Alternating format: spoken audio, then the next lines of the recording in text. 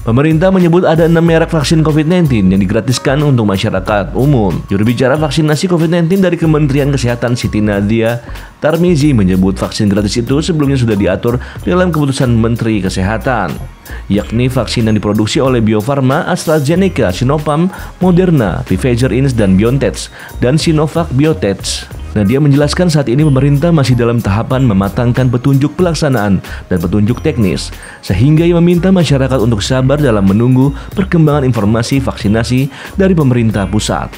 Hingga saat ini pemerintah masih menanti keputusan Badan Pengawasan Obat dan Makanan atau BPOM soal pemberian izin darurat penggunaan kandidat vaksin asal perusahaan Cina ini, yaitu Sinovac, yang didatangkan ke Indonesia dengan jumlah 1,2 juta dosis pada hari Minggu kemarin.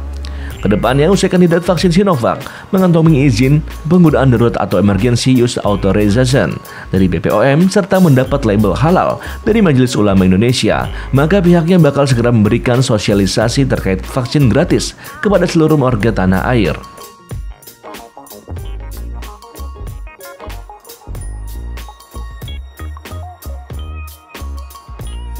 Sebelumnya Presiden Joko Widodo menggratiskan vaksin corona bagi masyarakat. Pemberian pun tak terkait kepesertaan aktif pada penyelenggara jaminan sosial atau BPJS Kesehatan.